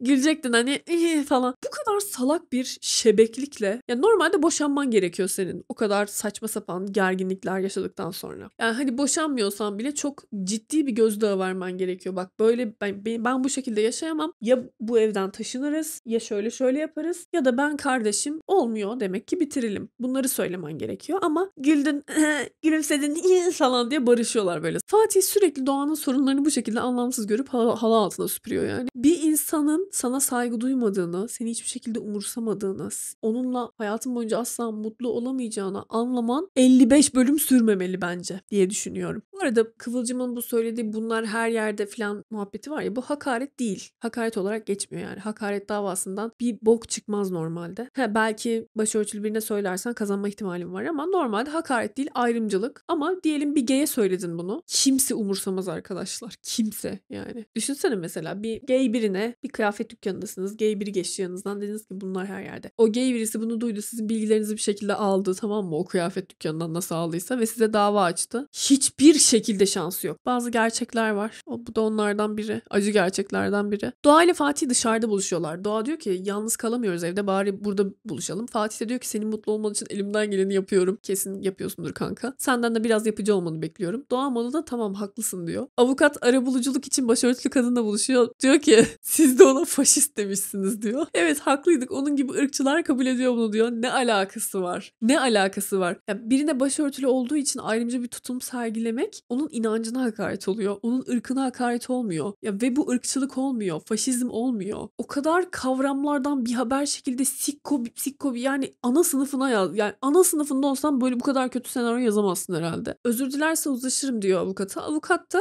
bunu Kıvılcım'a iletiyor ve diyor ki ciddi bir durum bu. Hakaretten hapis yatan bir sürü insan var. Sanki Cumhurbaşkanı'na hakaret. Kaldı ki Cumhurbaşkanı'na hakarette bile hükmün açıklanmasının geri bırakılmasından hemen hapis yatmıyorsun. Yani hukuk 101 milyon dolarlık bütçelerle diziler çekiyorsunuz. Bütün dünyadan ya bütün evrenden Marslılar bile izliyordur bence Kızılcık Şerbeti'ni artık. Ama şu basit şeyi yani ah Hakaret eden insanlara biz yeter. Bu arada akşam yemeğinde masada Nursema bir şey söylüyor. Doğa buna bir cevap verince Fatih karışma sen diye bütün ailesinin önünde onu azarlıyor. Bununla ilgili de bir şey söylemek istiyorum size. Couple bubble çift baloncuğu yani siz bir çift olarak birbirinizin her zaman arkanızda arkasında durmanız lazım. Siz bir ailesiniz ve artık diğer aileniz ikinci planda oluyor. Birbirinizi ailelerinize, etrafınıza karşı savunmanız ve sizin ikinizin bir takım olmanız gerekiyor. İkinizin kararlarınızı birlikte vermeniz, ikinizin birbirinizin arkasında her zaman durmanız, birbirinize her zaman cesaret vermeniz, birbirinize her konuda destek olmanız gerekiyor. Buna couple bubble deniyor. Ve Fatih doğayla asla böyle bir çift baloncu oluşturmamış arkadaşlar. Bunu ailesinin önünde doğayı azarlamasından anlayabilirsiniz. Ailesini daha önemli görüyor. Karısını aile olarak görmüyor. Ailesini aile olarak görüyor. Doğaya ailenin içindeki kendi ailesinden bir birey olarak saygı duymuyor. Doğaya çocuk peydahladığı bir kadın olarak görüyor sadece. Buradan bunu anlıyoruz. Sonra kilisede mum yakma krizi. Doğa işte kilisede mum yakıp dilek tuttu diye Fatih o kadar çok bağırıyor ki ona. Aileden de kimse çıtını çıkarmıyor. Normalde en mendebur, en iğrenç ailede bile ya işte ortam yumuşatılmaya çalışılır falan ama Fatih Doğa'ya bağırırken diğer herkes sessiz ve orgazm olmuş bir şekilde orada oturuyorlar. İğrenç bir aile yani. Ve işte bak diyorum ya işin kötüsü hani bu yaptıklarının yanlış olduğuna dair hiçbir emare gösterilmiyor size. Dizinin dili öyle değil yani. Anlıyorsunuz yani dizi baya baya bunu size gösteriyor ve bu da böyle işte diyor yani hani. Evet, bağırıyorlar onlar da şey sessiz kalıyor ama yani öyle değil midir zaten? O yüzden çok tehlikeli. Bir de kız hamile yani hani bütün bunları geçtim. Karnında senin çocuğunu taşıyor. Stres olmaması gerekiyor. Üzülmemesi gerekiyor. Rahat bir hamilelik geçirmesi, çocuğun sağlıklı bir şekilde doğurması için bunlar gerekli şeyler değil mi? Ama her gün sürekli olarak bir krizin içinde Doğa. Her gün o, o evde savaşıyor. Her gün canavarlarla savaşıyor o evde. Sonra Doğa Fatih ona bu şekilde davrandığı için okul kaydını tekrar açtırmaya gidiyor. Fatih'e bir şey söylemiyor. Çünkü bence bu şekilde azarlanmaktan korkuyor. E, Ve ba- bana ailesinin önünde bu şekilde bağıran, beni bu şekilde azarlayan kişi bu böyle bir şeyi teklif etsem okulumu dondurum yani sonuçta güya yorulmasın, üzülmesin falan diye okula gitmesini istememişti Fatih. Ama bakıyor ki burada zaten bana eşek gibi davranıyorlar. Okulda daha az stres olacağım. En azından evden biraz kaçmış olurum. Tamam mı? Böyle bir mantık yürütüyor ve bir de zaten kendi geleceğini de düşünmek zorunda hissediyor kendini. Bu yüzden okula geri dönmek istiyor. Yani bu okula geri dönmek istemesinde, okulu kaydının aştırmasında ve bunu Fatih söylememesinde bir keramet var arkadaşlar. Korkuyor yani kız. Zaten 21-22 yaşlarında falan Fatih bana şiddet gösterir veya bağırır çağırır diye söyleyemiyor. Yani öyle götlüğüne yalan söyleme gibi bir durum yok ortada. Ama birkaç bölüm boyunca sanki doğa suçluymuş gibi gösterecek dizi tarafından. Sanki yalan söylediği için bu konuda o suçlu gibi. Yani Fatih'in gösterdiği hiçbir şiddet doğanın çekinmesine sebep olamazmış gibi. Bu hiçbir şekilde işlenmiyor. Doğa yalan söyledi. Fatih'e söylemeden okulunun kaydını açtırdı. O yüzden burada mutlak suçlu doğa. Dizi bize böyle söylüyor. Ve o kadar tehlikeli ve kötü bir mesaj veriyor ki bu genç kadınlara. 7. bölümü geçtik. Alev'in işleri iyi gitmiyor. Ekonomik olarak zor durumdalar. Pembe de Alev'e dolaylı yoldan iş yaptırarak Apo konusunda gönlünü almaya çalışacak. Alev'in ofisinde konuşurlarken bu durumu birden Apo elinde güllerle geliyor. Ne alakaysa hayatında karısına gül almamış. Kocaman bir gül buketiyle geliyor. Yani normalde asistanına falan aldırırsın. Kendi geliyor işte. Kart zampara. Çok ayıp ettik kadına diye gönlünü almaya gitmiş güya. Zaten Pembe de hemen diyor hayatım boyunca bana bir kuru dal almadı diye. Oradan böyle Nursema ile apar topar çıkıyorlar. Böyle Nursema'ya böyle söylüyor. Bu sefer cidden aldattığını düşünüyorlar. Apo konuşuyor ama ikna olmuyor Pembe Hanım. Kıvılcım konuşuyor yine ikna ol- olmuyor. En sonunda ikna oluyor ama o güllere çok bozulduğunu söylüyor ki bence bu konuda haklı yani. Neyse bu arada Kıvılcım'ın annesi sürekli Kıvılcım'ı evlendirmeye çalışıyor ve sürekli kavga ediyor onunla. Yani nedense senaryo hep en yaşlı ve en muhafazakarlar nasıl istiyorsa öyle ilerliyor arkadaşlar. Sonra isim krizi yaşıyorlar bir de. Abdullah Bey Doğan'ın doğacak çocuğun adını Bekir koymak istiyor. Fatih de hayır Abdullah olacak diyor. Yani çocuğun yani kızın doğacak çocuğunun üzerinde bile tahakküm kurmaya başladılar. İsmini seçecekler yani. 9 ay taşıyacak karnında. Büyük acılarla doğuracak. Büyük, büyük hormonal de- değişmeler emzirecek bir sürü yani uyku falan kalmayacak. O çocuğu o bakacak ama ona istediği isimle bile hitap edemeyecek. Çünkü muhafazakar baba öyle istemiyor. Abdullah Hıdır mıdır koyacak yani. Ay bu durumdan var ya öyle nefret ediyorum ki birçok ailede karşılaştığım bir durum bu. Çocuğun göbek adı Abdurrezzak Kubil falan olsun. Düşünsene ya. Yani resmen çocuk fırtlatıyorsun. Dünyanın en zor şeyi. Bir de üstüne bunların dedelerinin isimlerini koyacaksın yani. Hiç bilmediğin, tanımadığın, kim bilir p***li mi, t***cü mü, sikko sokko adamlar. Bunların isimlerini yaşatacaksın. Ne için? Kocanın dedesi oldukları için. Ya ya. Bu arada Kıvılcım'ı dava eden kadın Ömer'in tanıdığı çıkıyor. Ömer de vazgeçiriyor ama avukata Kıvılcım'ın haberi olmasın benim ikna ettiğimden diyor. Ve Çimen de Alev ile Pembe arasındaki olayı duyup hemen Doğa'ya anlatıyor. Bu Alev'in Apo ile aldatma falan filan olayından Doğan'ın haberi yoktu ama Çimen yetiştiriyor hemen. Nilay Doğan'ın eşyalarını karıştırıyor. Bu arada burası o kadar saçma bir sahneydi ki 7. bölüm. Doğa okuldan geliyor. Banyoya giriyor. Zaten göt kadar bir odaları var. Nilay da eşyalarını karıştırıp okula gittiğini öğreniyor. Sonra Nilay bunu kocasına söylüyor. Kocası da Fatih söylüyor. Fatih de okula gidiyor. Ve benim burada şalterler attı abi. Kız resmen dayak yiyor ya. Kızı resmen okulda dövüyor herif. Dövüyor ve gösterdiği şiddet Fatih'in yanına kar kaldı. Siz bu diziyi izlemeye devam ettiniz. Eğlenmek için falan filan diye böyle şey yapıyorsunuz. Her şeye bir politik şey sokma. Politik duruş sokma. Eğlenmek için izliyoruz işte. Zaten hayatımızda bir sürü sorun var. Bir de sen bizi darlama. İzleyeceğiz işte falan diyor olabilirsiniz. Bilmiyorum ama ben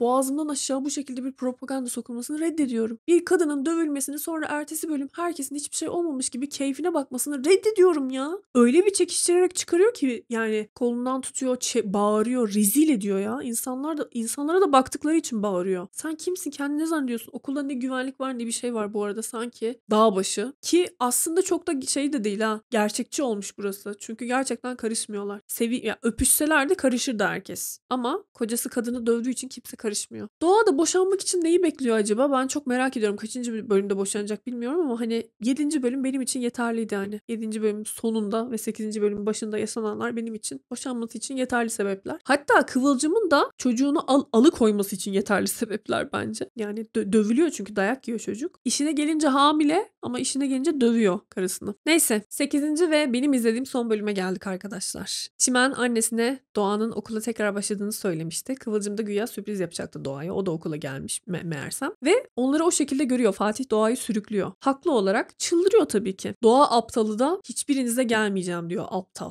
Hay Allah dayak yiyorsun. Annen haklı olarak olaya müdahale ediyor. Ama ben şunu da çok geçmeden anladım ki Kıvılcım'ın bu sinir krizi geçirmeleri sadece seküler izleyicilerin gazını almak için. Aa Kıvılcım boss bitch. Kıvılcım is back bitches falan. Hiçbir şey yapmıyor Kıvılcım. Sadece bağırıyor. Nasıl olur ya sen nasıl böyle bir şey yaparsın falan filan diyor. Sonra herkes dalgasına geri dönüyor yani. Fatih kontrol manyağı bir ruh hastası olmasa bütün bunlar olmazdı. Bebeğinin hayatını bile tehlikeye atacak kadar ruh hastası biri. Doğada tartaklamalardan sonra gidip bu herifle barışacak ve benim Türk dizilerine olan bütün inancımı bitirecek. Doğan kendini nasıl ikna ediyor biliyor musunuz? Ya yalan söyledim sonuçta ama az önce de açıkladım arkadaşlar. Yalan söylemesinin sebebi Fatih'in bağırmasından ve şiddet göstermesinden korkmasıydı. Yoksa niye bir insan niye okulu dondurdu, açtı tek yani niye bunun yalanını söylesin ki? Götlüğüne mi yani? Fatih'i aldatacak mı? Onun için mi söylüyor? Korktuğu için söyleyemiyor yani. Ortada bir şiddet ilişkisi var ama seyirciye bunu görmezden gelmesi söyleniyor aslında orada. Çünkü doğa içinden böyle diyor. Ya ben yalan söyledim sonuçta. Ben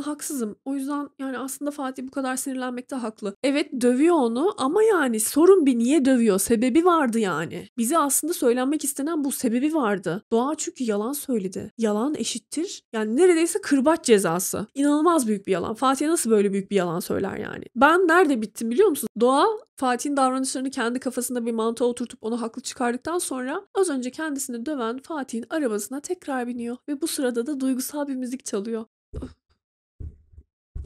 Bilerek yapmıyor olabilirler ama olay bu. Bahar rating rekoru kırıyor bu arada. Kızılcığı falan geçti onu söyleyeyim. E tamam Kızıl Şerbeti niye o zaman kendi ayağını sıkıyor mesela değil mi? Burada bir düşünmek lazım. Demek ki orada reytingin, reklam yerinin falan ötesinde başka şeyler var. Bir, bizim ayağımızı kaydırmasınlar, sektörde bitmeyelim, çok ceza aldık, aman ürkütmeyelim, şöyle böyle kaygısı. Belki başka şeyler de vardır. Bilmiyorum orada insanlar ne düşünüyorlar. Ama sonuçta ne oldu? İşte ganimet gibi fethedilmeyi bekleyen bir sürü seküler kadın olduğu bir dizi izliyoruz. Bir kere bu dizinin asıl hedef kitlesi, AB grubu dediğimiz insanlar zaten genel olarak seküler mahalle. Ve reytinglerde birinci olan dizi geriye doğru düşüyor. Buna rağmen yapılıyor. Neden? Sen paranı oradan kazanmayacaksın. Başka yerlerden kazanacaksın. O işi yapmak için de bu sana görev olarak verildi. Şunu demek istemiyorum. Hiçbir şey bilmiyorum içeriye dair. Yapımcısı, yönetmeni, senarist, şu bu falan. Onunla anlaşıp bunlar bu içgüdüsel bile olabilir. Farkında bile olmayabilirler belki ne yaptıklarını. Hani böyle beğeniyor şu bu. Tekrar ceza almayalım. Rütükten de bilmem ne diye. Belki onlar kaldan kalıcı da oluyor olabilir. Bilemem orasını. Ama son tahlilde seküler maliye alttan alta verilen şey şu. Ya defolun gidin. Ya biat edin. Biat etmiyorsanız da hazır olun. Ve inanamayacaksınız ama Fatih hem suçlu hem güçlü. Hala sinirli. Hala sinirli ve duygusal müzik hala çalmaya devam ediyor. Fatih çünkü haklı bir sinir içerisinde. Ve Doğa haksız. Ağlayarak, zırlayarak arayı bulmaya çalışıyor. Üzüyorsun beni istersen bir yerde oturup konuşalım diyor. Normalde böyle bir olaydan sonra suçlu hissetmesi ve üzülmesi gereken Fatih olması gerekirken Fatih hala sinirli. Oldu bir de yemek yer kutlarız. Senin beni üzdüğün kadar üzemem ben seni diye manipüle etmeye çalışıyor. Eve gidiyorlar kavga ediyorlar yapıyorlar. Sadece korktuğu ve çekindiği için okula gitmesini saklamasını sanki ailesini öldürmüş gibi lanse ediyor Fatih. Yalan söyledin deyip duruyor. Doğa ailesinin yanında farklı olmasından bahsedince de evlenmeden bilmiyor muydun bunları? O zaman aklın neredeydi diyor. Bitch daha 6 ay oldu zaten siz sevgili olup evleneli. Yani daha 3 bölüm önce kıza muhteşem bir prenses gibi davranırken şimdi kızı dövdün neredeyse. Neredeyse değil dövme. O tartaklamak, dövmek yani. O başka bir tanımı yok onun. Dövüyorsun ondan sonra da hiç değişmediğini falan iddia ediyorsun. Evlenmeden bilmiyor muydun bilmiyor muydun? O zaman aklın neredeydi? Şu laftan sonra direkt olarak boşanıyorsun. Boşanıyorsun yani. Bunun başka çözümü yoktur. Ama boşanmıyor. Boşanmıyor çünkü cefakar kadın olması gerekiyor. Bir de Doğa sanki aldattım ne biçim davranıyorsun benden nefret eder gibi diyor. Fatih de ne diyor biliyor musunuz? Yalanın içinde illa bir ahlaksızlık mı olması lazım? Bir de alttan alta iması yapıyor. Allah'ım, Allah'ım. Bir de arkadaşlar bu arada özellikle yeni evlileri söylemek istiyorum bunu veya evlenecek olanlara. Evliliğin ilk 856 yılında çok kavga olur ama sonra hepsi biter. Yalan, yalan dünyanın en büyük yalanı. Evliliklerin ilk dönemlerinde evet alışma sancıları olması doğru. Özellikle aynı evde birlikte yaşamıyorduysanız, yeni yaşamaya başladıysanız, kurallarınıza, yaşam tarzınızdaki bazı farklılıkları birbirinizin alışması falan zaman alabilir ama özellikle muhafazakar çevrelerde ben çok duyardım. İşte iş, eski çalıştığım iş yerinde falan. Evliliğin 950. yılı gerçekten sınav gibi bir yılmış ama sonra her şey düzeliyormuş. Çiftlerin birbirine saygı, anlayış göstermesi, birbirlerini anlayabilmesi 850 yılda oturacak kadar zor şeyler değil bunlar. Yani aranızda o kadar çok tartışma, kavga, sürtüşme oluyorsa özellikle bu raddelere falan geliyorsa birbirinize uygun değilsinizdir. Yani mutlu değilseniz boşanmanız gerekiyordur. Öyle zorla zorla yıllar geçti ama artık çok mutluyuz. Evlenmeden önce çift terapisi almanızı ve evliliğe bu şekilde hazırlanmanızı tavsiye ediyorum. İlla aranızda büyük bir sorun olmasına gerek yok. Bir de terapiye illa delirenlerin gitmesi gerekiyor diye bir şey yok. Bence evlilik öncesi hazırlık sürecinde ben mesela şu anki aklım olsa giderdim. Güzel olabilirdi. Değişik bir deneyim olurdu. Ve arkadaşlar bakın 8. bölümdeki şu sahneye bakar mısınız? Evde Doğan'ın layık anneannesi Şebi Aruz'a gidemedik ya diye üzülüyor ve Show TV'de Konya Belediye Başkanı konuşurken görüyoruz. Bir de Konya Belediye Başkanı da AKP'li. Ben tiksinirim. Düşünsenize ya Netflix'te veya Prime'da herhangi bir dizi izliyorsunuz yabancı. Birden işte Lancaster Belediye Başkanı bilmem bir şey. Böyle saçmalık hayatınızda gördünüz mü? Yani eğlenmek için, keyif almak için. Böyle bir şeyi izlerken yani tamam eski Türk dizilerinde de olurdu bu. İşte Avrupa yakasında arada televizyonu gösterirlerdi ama hiçbir zaman siyasi propaganda aracı olmazdı. Niye bu hani sanki AKP mitingine gelmişim gibi dizi? Ben niye bunu izliyorum ki? Ben böyle bir şey izleyemem. Masum bir şey değil yani. Eğlenirken bana belediye başkanı reklamı yapılmasını istemem. Bu arada Doğa yalan söylemeyip doğruyu sakladı sadece biliyorsunuz. Az önce niye sakladığını düşündüğümü söyledim size. Bir de evlenince böyle kavga etmek normalmiş gibi lanse, ediyor, e, lanse ediliyor arkadaşlar. Asla normal değil. 13 yıllık bir ilişkim, 5 yıllık bir evliliğim var. Biz hayatımızda birbirimize böyle bir fiske, ya yemin ederim ben böyle bir şey görmedim yani. Sanki normalmiş gibi aktarılıyor ya size. Özellikle daha genç insanlara falan ya. Böyle şeyler olur ya evlilikte. Hani kocanın seni kulundan tutup sürükleyerek bir okuldan çıkarması gayet normaldir falan. Böyle bir şey yok arkadaşlar yani. Daha genç insanlara söylüyorum. Eğer ilişkinizde böyle bir şey yaşıyorsanız ve olur böyle şeyler ya sevgiliyiz, olur böyle şeyler, nişanlıyız, evliyiz falan diye düşünüyorsanız bu gerizekalı diziler yüzünden böyle düşünmeyin yani. Bu bunda hiç normal bir şey yok. Neyse Kıvılcım geliyor olayı anlatıyor. Anneanne de anneannedeki bakın anneanneden niye nefret ettiğimi şimdi daha iyi anlayacaksınız. Sen yanlış anlamışsındır. Yani diyor ki kızım dayak yedi kocasından gözümün önünde. Sen yanlış anlamışsındır. Yani bu babaanneyi gerçekten boğup böyle cinayet süsü vermek istiyorum. Ne demek sen yanlış anlamışsındır ya? Yani bu kadar erko manyağı, bu kadar böyle şey savunucusu. Kızlar yerli yerinde otursun ve erkekler onları istediklerini yapsın. Ama yeter ki evli olsunlar ve dışarıdan mutlu aile tablosu gibi gözüksün her şey falan. İnanılmaz ya. Bir de Kıvılcım ısrar ay hiç öyle de bir çocuk değildi. Gerçekten var ya doğa dayak yiyecek kız değil. Fatih öyle bir insan değil. Sürekli susturmaya çalışıyor Kıvılcım'ı ve ay ben hasta bir kadınım şekerim, şekerim yükseliyor. Tam bir böyle şey klasik Türk ebeveyni. Pembe Hanım da bunu çok yapıyor. Ay ben bir gün hak diye ölür giderim de siz kalırsınız. Ay Nursema şekerim yükseliyor. Ay bilmem ne. Ben var ya bunun örtük narsist bir davranış olduğunu düşünüyorum. Şimdi bana diyeceksiniz ki Meryem sen de çok psikolojik terimler kullanıyorsun böyle götünden götünden. Bir eğitimin yok bir şeyin yok. Saçma sapan yapıştırıyorsun hemen bir psikolojik kavram. Kesinlikle bu konuda bir yetkinliğim falan olmadığını söylüyorum. Yemin ederim size dayanamıyorum. Böyle araştırıyorum, okuyorum. O kadar ya boomerlar kadar narsist ebeveynler görmedim ben hayatımda. Yani ne kadar boomer ebeveyn varsa dünyanın kendileri etrafında döndüklerini zannediyorlar. Gösteriyorlar. Çünkü bu o kadar tanıdık olduğum bir aile davranış pratiği ki. Ay şekerim, ay susun, tartışmayın. Ah ben, ben, e, bir dakika ya ben, ben falan. Hayatınız istediğiniz kadar iğrenç olabilir ama yeter ki benim hayatımda en küçük bir olumsuzluk olmasın. Tansiyonum çıkmasın lütfen. Shut the fuck up. Herkes sussun ama benim tansiyonum çıkmasın. Torunun dayak yemiş. S**eyim şekerini yani senin. Neyse Apo eve geliyor. Bu ne bağırma ya? Sa- saygı olmadan evlilik mi olurmuş? Hemen oraya bir atasözü fırlatıyor. Ah saygı olmadan evlilik mi olurmuş? Gördünüz mü ya? Apo yine her şeyi çözmüş. Bize yine akıl dağıtıyor. Yani menba gibi. Apo'daki akıllar bitmiyor. Gerçekten mi saygı olmadan evlilik olmaz mıymış yani? O zaman git onu geri zekalı oğluna anlat. Bok gibi yetiştirmişsin. Şiddet faili oğluna anlat yani sen saygı olmadan evlilik olur muymuş olmaz mıymış? Geri zekalılar. Nefret ediyorum sizden. Ölün Apo ve ailesi.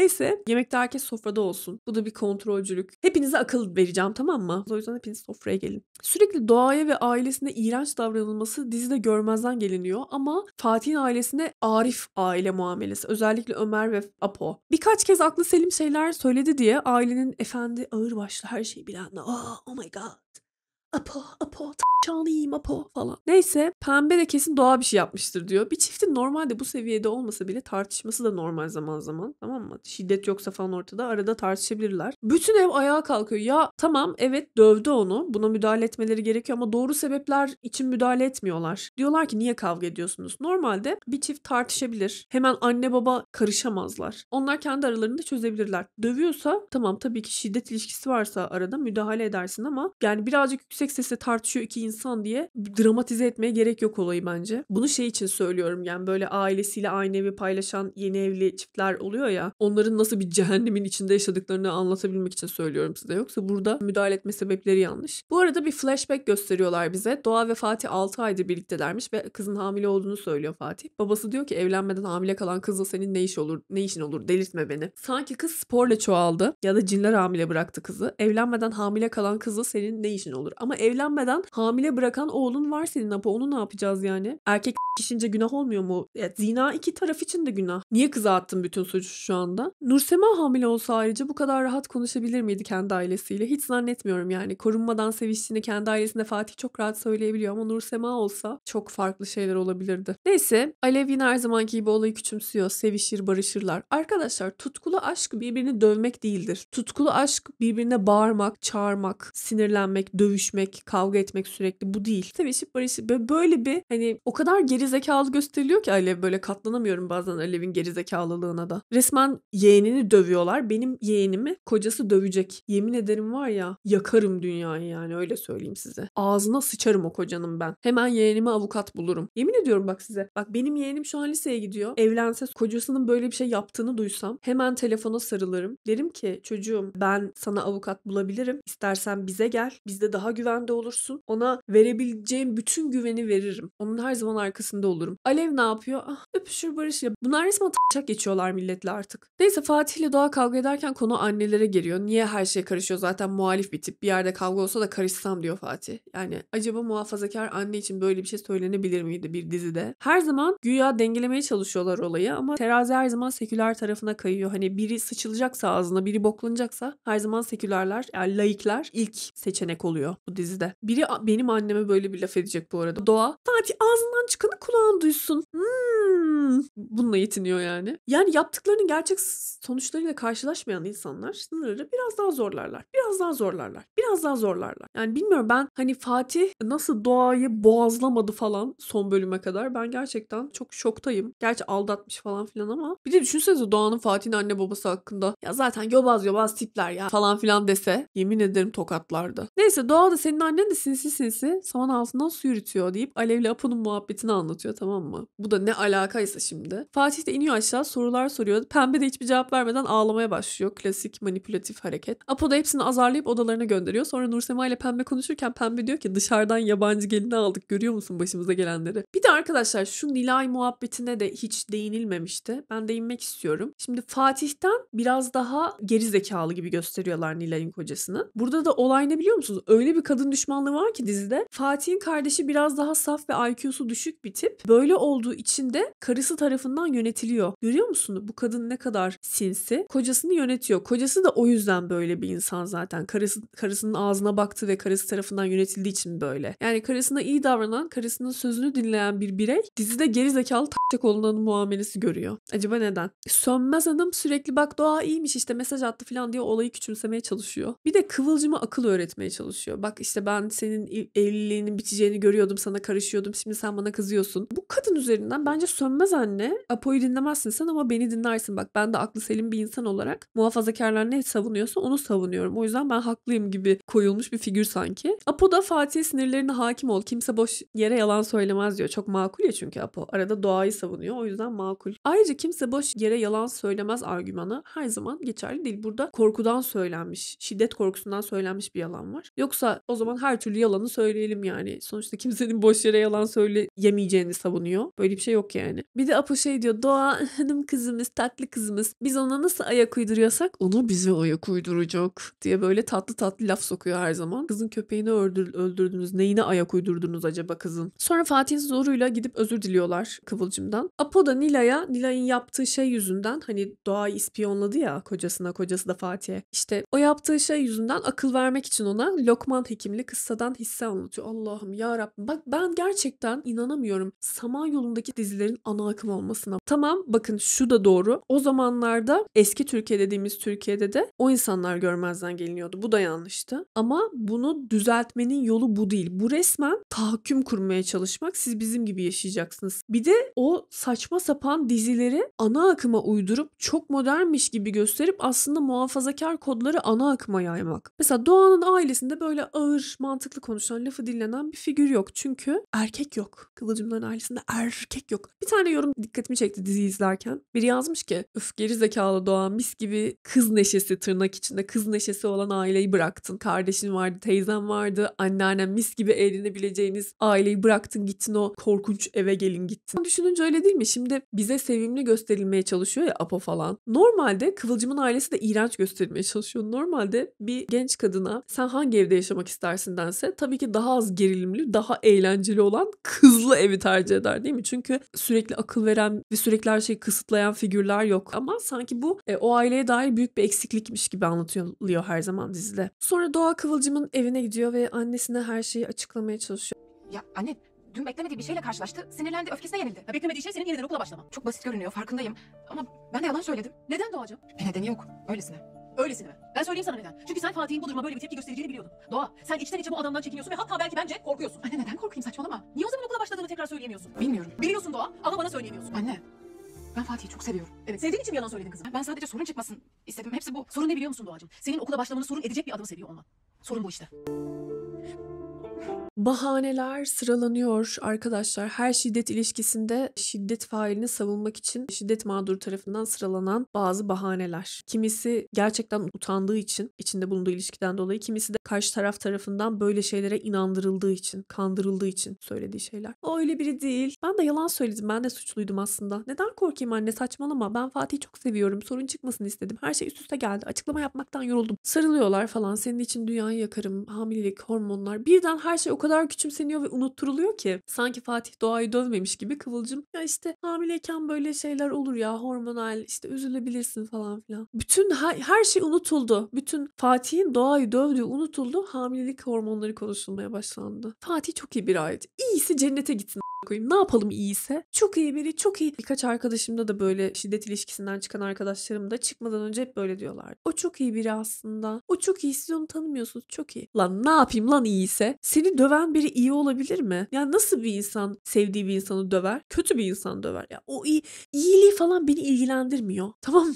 Neyse. Neyse sonra akşama yemek ayarlıyorlar ama e, ondan önce Kıvılcım Fatih ile oturup konuyu konuşmak istiyor. Ne bok varsa sürekli konuşuyorlar konuyu ama hiçbir yere bağlanmıyor sonuç. Şöyle demeniz lazım, göz vermeniz lazım. Bak bu çocuğa bir, bir daha bir fis elini ya bir kere bile dokunursan senin ağzına sıçarız. Bir de doğayı böyle otonomiyi bu kadar elinden almak da istemiyorum. Doğanın da söylemesi lazım. Ben bu şekilde bir ilişki, bu şekilde bir evlilik istemiyorum. Bu şekilde tartaklanmak istemiyorum. Eğer bir daha böyle bir şey yaşarsak boşanacağım demesi lazım. Ama o anne o iyi biri ya. Anne iyi biri ya. Onu çok seviyorum. Doğa diyor ki işte annemden özür dilemen lazım. Özür dilenecek biri varsa o da sensin kızım ya. Fatih bu arada Doğa'dan hala özür dilemedi biliyor musunuz? Hala yalan söyledin sen falan diyor. Kurban rolü yapıyor. Hala özür dilemedi. İki bölümdür kızı dövdü ve özür dilemedi. Ve hala sinirli Doğa'ya. Üstüne üstlük. İnanılmaz. Tabii sönmez ana da ay, şiddet dolu bir ilişki içerisinde nasıl yaşanır bunun nasihatini veriyor bizlere arkadaşlar. Evlilik idare etme sanatıdır. Birbirinizi idare edin. İşte sev sevgilim çok özür dilerim. Geri zekalı rolü yap. Resmen Sema Maraşlı taktikleriyle işte kocanı idare et. Özür dilerim özür dilerim ayağına. İşte sen istediğini yaparsın zaten. Ama onun gönlünü al. Ya dövüyorsa dövecek tamam mı? Dayak yiyeceğim bir de üstüne özür dilerim sevgilim ya okula giderken sana yalan söyledim falan diye af dileneceğim o heriften. Verdiği tavsiyeye bak ya karıyı resmen boğmak istiyorum ya. E, Seyirciyle var ya resmen dalga geçiyorlar arkadaşlar. Bak ben şeye çok üzülüyorum. Dalga geçiliyor bizle ve hala izlemeye devam ediyoruz. Para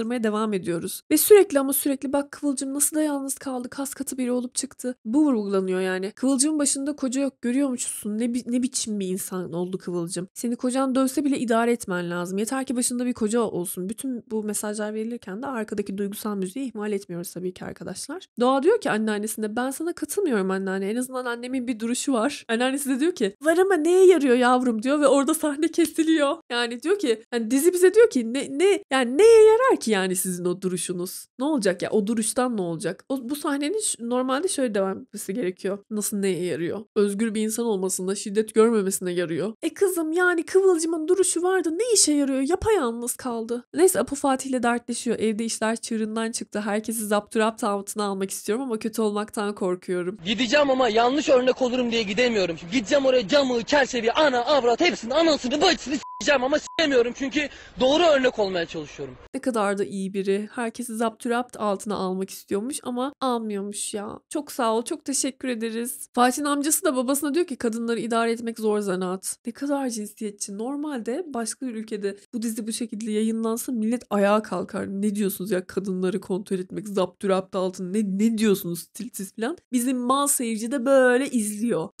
Diyorum. Ay özür dilerim kediciğim korktu. Özür dilerim kediciğim. Neyse herkese eşit duruş sergilemek zorundasın bir de. Ay ne kadar zor ya. Üf, çok zor. Baba da Allah uzun ömürler versin. Acılarını göstermesin. Onların ayağına taş değmesin ya. Atlatırız. Bir de ölseler de sağ ol yani. Acılarını göstermesin dediğin için teşekkür ederiz. Nursema'nın bütün istekleri de annesi tarafından kışkışlanıyor. Önemsiz görülüyor. Dışarı çıkıp çay içmesine bile izin vermiyor. İzin alıyor o bir de. 40 yaşında izin alıyor. Annesi de izin vermiyor. Diyor ki Umre için yemek yapacağız falan. Umre ziyareti için yemek yapacağız. Nursema odasına gidiyor. Annesi de peşinden üzülüp odasına gidiyor sanıyorsunuz. Diyor ki hadi yemek yapalım falan. Eskiden İspanyol pembe dizilerinde rahibeler olurdu. Hayatlarında hiçbir erkeğin olduğu yerde nefes bile almamış falan. Onlar böyle davranırlardı. Onların dizileri eğlenceli olurdu izlemesi. Ama burada normal bir dümdüz bir kadın yani rahibe falan değil. Ve böyle bir hayat yaşamış. 40 yaşında nasıl dışarı çıkacağını bilmiyor. Annesinden izin falan alıyor. Aşırı gerçeklik dışı. Doğa Alev ve Fatih'le olan gerginliği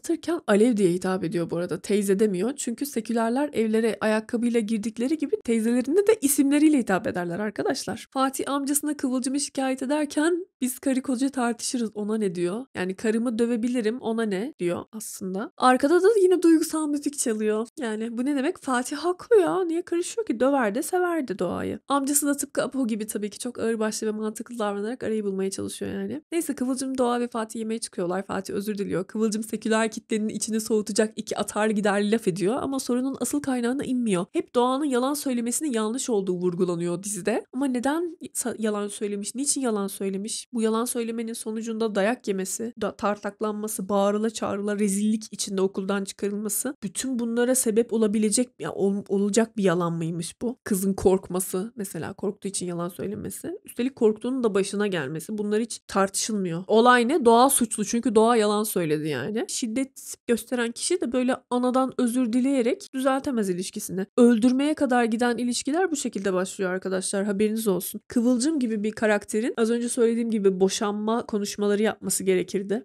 Doğan'ın da boşanma konuşmaları yapması gerekirdi. Fatih'in de kendini düzeltmeye mecbur hissetmek zorunda olmasıyla bitmeliydi bu normalde. Yani normal bir karakter gelişimi hani ne bileyim normal bir dizide kadına şiddetin normal görülmediği bir dizide böyle olurdu. Ama bu dizide kadına şiddet normal görülüyor ki Kıvılcım'dan özür dileyerek doğadan bile değil doğanın annesinden özür dileyerek işin içinden çıkabiliyor Fatih. Bu şiddet halı altına süpürüldüğü gibi Fatih üstüne bir de pişman da değil öfkeli aksine. Hani hak, sanki haklı bir öfkesi var gibi davranıyor bütün bölümler boyunca. Bir de Fatih'le empati kurmamız bekleniyor. Mesela yeni sevgilisiyle yaşadığı mutluluklara biz bizim sevinmemizi bekliyorlar. Fatih'e göre bir insanın okula gideceğim diye yalan söylemesi bir insanın hamile karısını tartaklamasından çok daha büyük bir kabahat. Neden? Çünkü kendine ihanet edilmesi her şeyden daha büyük bir kötülük. Okula gitmek eğitim almak içindir ama o net bir şekilde öyle görmüyor yani. Doğa okuluma gideceğim diyor. Fatih de annenden aldın tabii gazı diyor. Allah'ım sabır ver. Allah'ım sabır ver. Ben de Hidayet romanı karakterine dönüştüm artık. Neyse o akşam yemeğe geliyor Kıvılcım'la Alev ve Fatih'in ailesi. Yemek yiyorlar. Evlilik tartışması oluyor. Pembe evliliği öven, evlilik kurumunu öven şeyler söylüyor. Ama Alev ve Kıvılcım yani laik kadınlarımız dizideki evliliği bokluyorlar. Sanki bu kadınların evli ve mutlu olması imkansızdır. Biri boşanmış, biri zaten hiç evlenmemiş ve ikisi de mutsuz. O yüzden evlilik kurumunu sürekli aşağılıyorlar. Mesela ben de evliyim. Ben her fırsatta söylüyorum evlilik ataerkil yani erkeklere çok daha fazla hizmet eden bir kurum. Erkeklere çok daha fazla yarar sağlayan bir kurum. Ve eğer dikkat etmezseniz bir kadın olarak haklarınızın sürekli farkında olmazsanız bir şeylerin sizden beklenmesi, her türlü yükü sizin çekmeniz falan, bütün sorumluluğu sizin almanız. Bunlar o kadar mümkün ki ama bu demek değildir ki işte seküler ve laik kadınlar evlendiklerinde asla mutlu olamazlar falan. Hani öyle bir gösteriyor ki ya bu aptallar zaten evliliğin daimi mutluluk olduğunu farkında değiller. Neleri kaçırdıklarını bilmiyorlar. Çünkü geri zekalı ve mutsuz bunlar. Ama evlilik öyle bir şey mi yani? Evlilik muhteşem bir şey. Böyle gösterilmeye çalışılmış resmen. En son zaten 8. bölümün sonunda da sosyal medya kullandığı için, fotoğraf paylaştığı için Fatih Doğa'ya aranan kadın diyor. Kime kendini gösteriyorsun diyor. Ve ben burada, ben burada bittim arkadaşlar. Ben bazılarınız 55. bölüme kadar dayanmış. Bazılarınız çimen başını örtünce bitmiş. İşte bazılarınız son sahneyi göstereceğim size. O sahnede karar vermiş izlemeyi bırakmaya. Şahsen ben zaten üniversitenin kapısından tartaklanarak çıkartılırken Doğa bu diziyi izlememeye karar vermiştim. Şu benim için tuzu biberi oldu. Sizden de ne istiyorum biliyor musunuz? Bu kadar konuştuk konuştuk. Ne yapabilirim? Ben izlemek istiyorum veya bizim elimizden ne gelir ki biz izlemesek ne olacak? Size önce dizinin son sahnesini göstermek istiyorum. Bir Twitter kullanıcısının bir ringe çıkarılmış cinsel fantezi olarak adlandırdığı ve benim de hiç ters bulmadığı böyle bildiğin saç baş birbirlerine giriyorlar. Sen de belki mutlu olursun zaman. Sen ne diyorsun be terbiyesiz? Seni parçalarım. Gebertirim beni. Ve şimdi de ne yapabileceğinizi merak ediyorsanız Nevşin Mengü'nün yayınından şu son kesiti koymak istiyorum. Yani protesto. Tarikatçılar örgütlenip arıyorsa siz de arayın abi. Bu ne saçmalık deyin. Bu ne rezillik kardeşim siz ne yapıyorsunuz diye arayıp e, özellikle e, kadın arkadaşlar bence protesto edin. Edelim yani. Bir tane de örnek seküler karakteriniz olsun ya saçmalamaya. İzleme kardeşim. İzleme boket et. Küçücük tarikatlar şeyler %1'lik kitleler nasıl etkili oluyor? Biz koskocaman %50'lik kesim yokmuşuz gibi ya. %50'lik bir azınlık olmaz arkadaşlar. Bazen böyle gücümüzün de farkına Ya Rütü arayın. Rütü arayın. Neden kadınlar böyle gösteriliyor diye. Rütü arayın. Hiçbir şey yapamadınız. Kızılcık Şerbeti, Kızıl Gonca YouTube'a yüklüyor ya. Altını yorumla doldurun ya. Bu ne rezillik diye. Bu kadar Onun yerine aşağıda şey konuşuyoruz. Ay Apo öyle mi oldu böyle mi oldu? Yani gerçek sanki böyle normal bir dizi izliyormuş gibi izliyor insanlar. E sen bu kadar zaten hani kendi çıkarlarını umursamaz ya da bunu görmezden gelirsen aşırı naifsin. Daha az naif olmamız gerek diye düşünüyorum. Normalde bu yayını izlemeden önce diyecektim ki arkadaşlar ben daha izlemeyeceğim. Bilmiyorum siz izler misiniz, izlemez misiniz? Belki benim kanalım çok yüksek takipçili bir kanal değil ama kendi adıma böyle bir şeye daha fazla etkileşim vermeye, daha fazla göz önünde bulunmasına, katkıda bulunmaya devam etmeyi reddediyorum. Pasif direniş olarak düşünebilirsiniz. Benim 180 bin takipçim var. Milyonlarca insandan bahsedilirken bu binli sayılar biraz küçümseniyor. Ama ben kendi kitleme bir daha asla Kızılcık Şerbeti ile ilgili hiçbir şekilde ne bir etkileşim aracı olurum, ne bir şey gösteririm, ne diziyi teş- izlemelerine teşvik edecek bir şey söylerim, ne de bu seriye daha fazla devam ederim. Ben bunun bir parçası olmayı artık reddediyorum. Bu yayından sonra aklıma şöyle bir fikir geldi. Boykot hareketi başlatıyoruz. Sosyal medyalarımda da bu durumu duyuracağım ufaktan. Ve bence siz siz de kendiniz izlemeyebilirsiniz. Ritü'yü arayabilirsiniz. Ya ben bunu muhbir vatandaşlık olarak görmüyorum. Ben Ritü'ye bana ne ya kaldırılsın falan diye şikayet etmek için değil. Bu dizideki şiddet güzellemesini biz göremeyecek kadar salak mıyız yani? En azından biz burada izlemek için. Nasıl insanlar arayarak bir şeyin seyrini değiştirebiliyorsa biz de değiştirebiliriz. Değişmiyorsa bile kardeşim değişmiyor mu? Tamam o zaman ben yokum abi. Yani bunu diyebilecek gücümüz var bizim. Sadece kendine güven. Böyle diyorum. Benden bu kadar. Çok özür diliyorum. Böyle çok